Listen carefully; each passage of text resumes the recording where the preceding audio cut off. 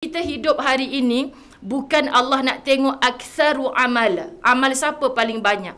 Tapi Allah nak tengok ahsanu amala.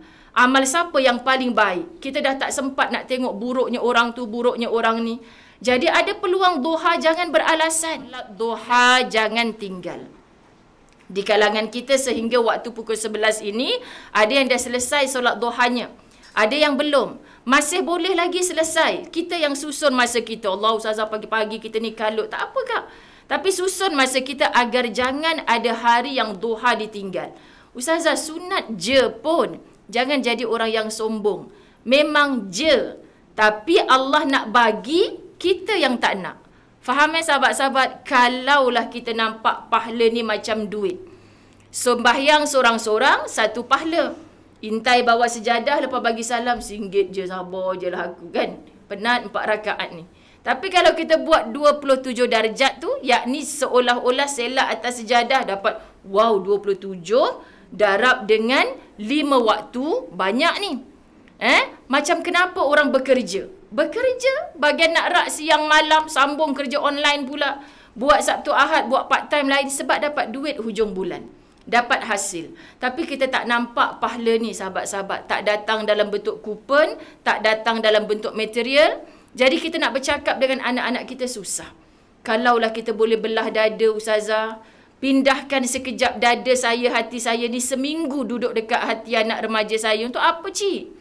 Untuk dia rasa seronoknya kalau jiwa ni baca Quran hari-hari. Seronoknya kalau solat awal waktu. Cik, kena sedar. Dulu kita macam tu tak? Punya rasa tak? Tak. Tapi pengalaman-pengalaman hidup kita. Maka kat mana kita nak adukan sahabat-sahabat bukan melalui solat fardu sahaja, tapi solat-solat sunat. Dan solat duha ini sebenarnya adalah seperti kita bersedekah di setiap ruas tulang temulang kita ni. Masya Allah. Sebab sebenarnya kata Nabi SAW, hidup ni adalah untuk kita bersedekah di setiap ruas tulang. Apa benda ni tak faham Ustazah? Maknanya tak cukup akak sedekah setiap hari dalam tabung masjid ni RM10. Tak cukup kak. Bayangkan kita nafas, eh, tarik, hembus, free of charge. Seolah-olah ibarat berhak ke kau nak bayar. Setiap kerdipan mata. Sini ada beberapa orang doktor kan. Kalau mata kita tak berkedip ni, normal ke hidup kita. Penyakit lain akan datang. Masya Allah, kenapa ada bulu mata? Ada peranan. Allah tu maha bijaksana. Kenapa unta bulu matanya sangat lentik, kucing kat rumah kita tu tak selentik itu. Oh sebab Allah ciptakan unta memang duduk nanti ada ribut pasir. Itu sebagai penapis tu nak masuk dalam mata dia. Masya Allah. Tak habis hikmah kalau kita cari sahabat-sahabat besarnya. Okey, kenapa lubang hidung kat bawah ustazah? Kalau ke atas kan bagus, jangan lawan perintah Allah. Agak musim hujan tertinggal payung dalam kereta, jenuh nak tutup kan? Kita tak pernah puas hati sahabat. Tapi kita nak lawan perintah Allah. Jadi Allah kata duha ni memang tak wajib. Tapi ibarat kalau saya kata saya ada lebihan duit ni. Dalam ni penuh dengan duit ni. Siapa nak? Ha, kita kata tak nak lah Ustazah. Tu orang kata siapa yang nak tolak duit dalam hidup ni Ustazah. Semua orang ambil. Kalau tak ada iman, haram pun masuk sekali. Tapi sebab ada iman tu, sahabat-sahabat dirahmati Allah, aku ambil yang halal sahaja. Inilah pembatas antara orang beriman dengan orang yang kufur kepada Allah. Okey, jadi jangan tinggal. Dan indahnya Nabi mengajar kita. Solat duha amalan sunat. Nanti kalau dah boleh rentah negeri, dah boleh ikut suami pergi bekerja outstation dan sebagainya, kadang-kadang kan ada suasana kita sangat sibuk. Suami kata nak gimana pula tu? Bang, uh, singgah Rena Arjab. Tapi air lama sikit, eh nak solat duha. Buat gaduh dengan suami, jangan buat sahabat. Sebab itu duha sunat.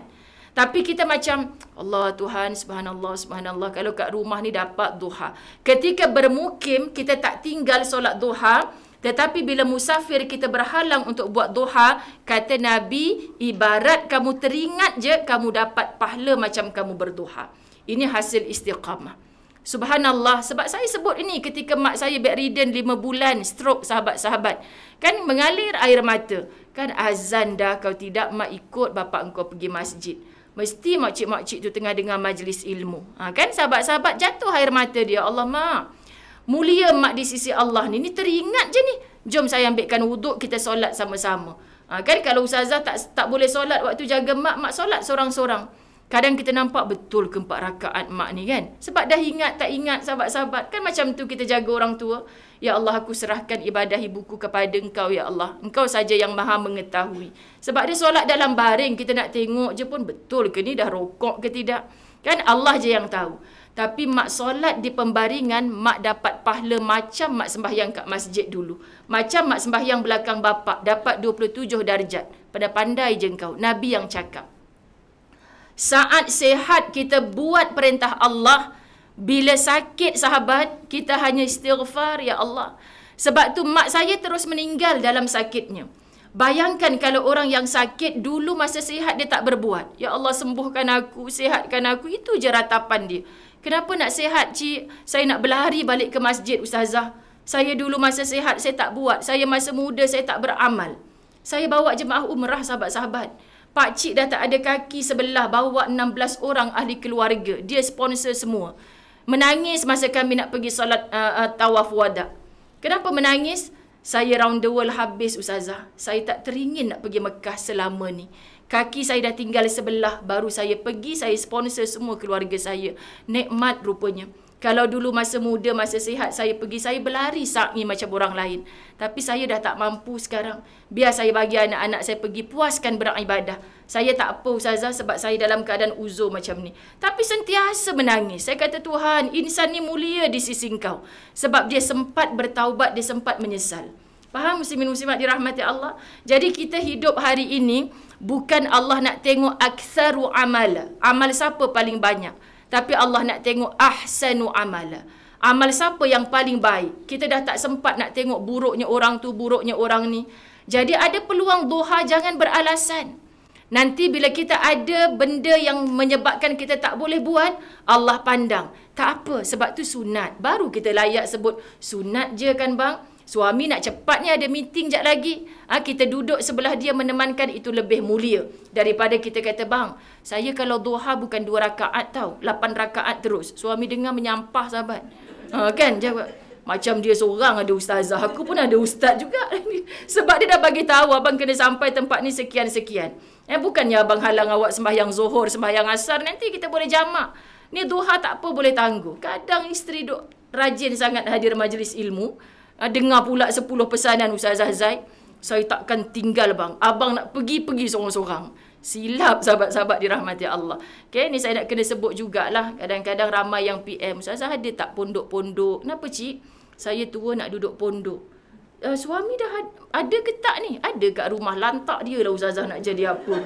Masya Allah, kesian sahabat-sahabat. Ajak sembahyang, tak nak sembahyang. Ajak pergi masjid, tak nak lantak dia mati seorang-seorang. Saya nak duduk pondok. Ingat duduk pondok kita tu jalan ke syurga ke? Saya terpaksa sebut sebut ni. Ramai muslimat yang macam ni. Kalau dia kata suami acik meninggal, anak-anak pun sibuk, Zazah dah tak balik. Okey, faham. Bahkan anak-anak yang daftarkan macam mak ayah daftarkan dia masuk asrama dulu. Insya Allah anak-anak ni tidak derhaka. Sebab tiap minggu dia akan mak happy ke kat sini? Happy. Tak payah nak pergi masjid jauh-jauh. Korang tak payah sibuk nak hantar mak. Masjid depan tu je mak boleh pergi tiap-tiap waktu. Subhanallah sahabat-sahabat. Niat anak-anak tu eh. Tapi kalau niat aku tinggalkan laki dekat rumah aku nak pergi duduk pondok untuk masuk syurga. Adakah kita boleh skip suami kita untuk masuk syurga? Tak. Sebab redanya Allah tertakluk pada redanya suami. Tapi suami acik cakap suka hati engkau lah nak duduk pondok. Suka hati tu bukan reda ke Ustazah? Taklah cik, kalau saya dari kecil dulu, kalau mak saya cakap suka hati, saya takkan buat. Sebab saya tahu mak saya tak suka hatinya. Ha, kan? Kalau mak saya suka, mak saya akan cakap, Ya Allah bagus. Pergilah mak suka kalau kamu pergi tempat tu.